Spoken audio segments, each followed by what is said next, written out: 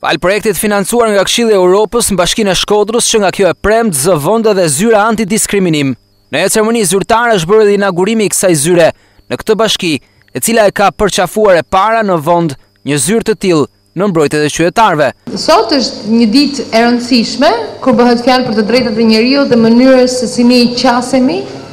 çështjeve që lidhen me të drejtat e njeriut. Dhe për herë të parë, përmes një projekti Të iniciuar nga Komisioneri Antidiskriminim, ne jemi një ndër bashkitë aktive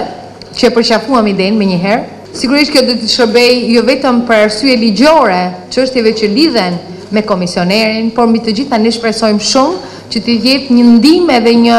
Vlerë e shtuar dhe mendoj që do të jetë një vlerë e shtuar për punën që bën Bashkia Shkodër për t'u qasur së bashku çështjeve që lidhen me drejtat e njeriut. Komisionerja për Diskriminimin, Irma Baraku gjatë fjalës së saj u shpreh se ky vend tashmë është një akses më shumë për qytetarët për të mbrojtur të drejtat e tyre. Ne kemi punuar për të ardhë sa më pranë qytetarëve përmes tre zyrave rajonale, Në kuadër të një projekti pilot, dua të falënderoj shumë kryetaren e Bashkisë Shkodër, e cila me mendjen e hapur në lidhje me çështjet që kanë të bëjnë me të drejtat e njeriut, na krijoi mundësitë që të jemi në një vend të dukshëm, ku mund të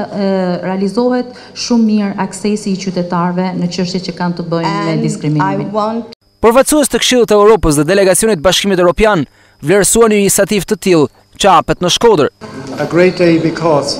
Pra për ne çështjet e diskriminimit janë në krye të agjendës tonë dhe ne jemi shumë të lumtur sot që shofim që fara është hedhur,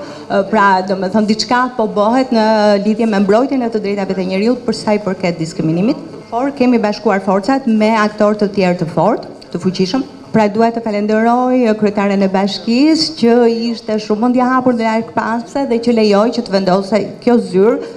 në ambientet e Bashkisë së Shkodrës. Ky është një projekt që synon uljen e diskriminimit në vendin tonë, në kuadër të rekomandimeve që Bashkimi Europian ka dhënë për Shqipërinë, për hapjen e negociatave mes Shqipërisë dhe Bashkimit Europian.